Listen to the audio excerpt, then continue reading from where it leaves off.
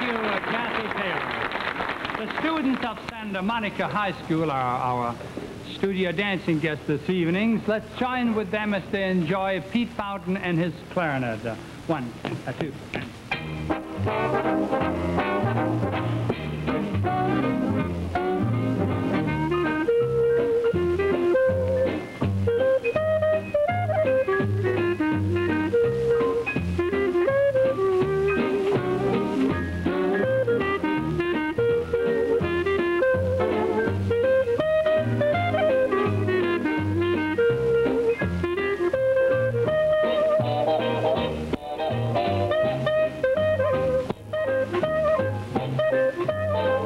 thank you